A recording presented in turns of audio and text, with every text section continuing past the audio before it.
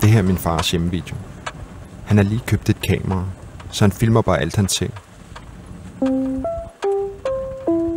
Det er her, vi bor. En forstad i Norge, omgivet af bjerge. Det her er mig. Det her er min irriterende og mærkelige lillebror, Frederik. Og min mor. Kristoffer? Og det her er Christoffer. Det er på grund af ham, min far har købt kameraet. For at bevare så meget som muligt, mens det endnu kan lade sig gøre. Se far filmer. Billeder af dig?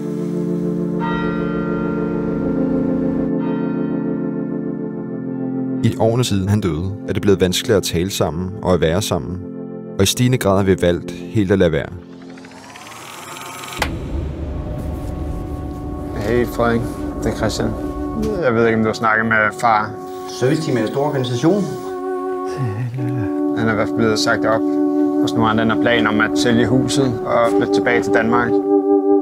Det, der skete, har påvirket os alle sammen på vidt forskellige måder, som vi bare aldrig har været i stand til at tale om.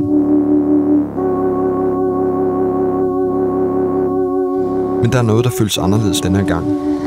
Jeg tror ikke rigtig, nogen ved, hvor trist jeg var, eller hvor tungt jeg havde det. Jeg var ligesom bare trist og ville løse det problem selv.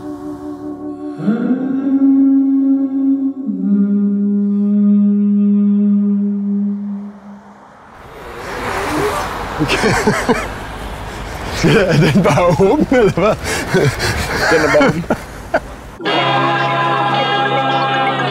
Så jeg har taget turen op i bjergene i et forsøg på at få familiens mænd i tale. For så er det måske ikke længere umuligt at finde tilbage til det, vi havde engang.